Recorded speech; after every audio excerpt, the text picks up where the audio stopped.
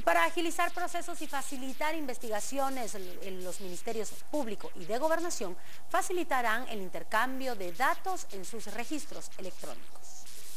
La información que se compartirán ambas instituciones se dará a través de un programa de base de datos en donde podrán interactuar en tiempo real y agilizar los procesos de investigación.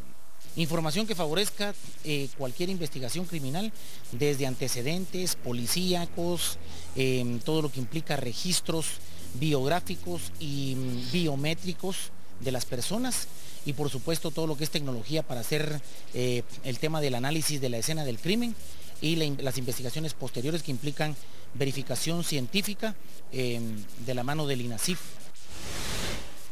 Según datos del Ministerio Público, en 2007, Guatemala alcanzó el 95% en niveles de impunidad en casos de delitos contra la vida.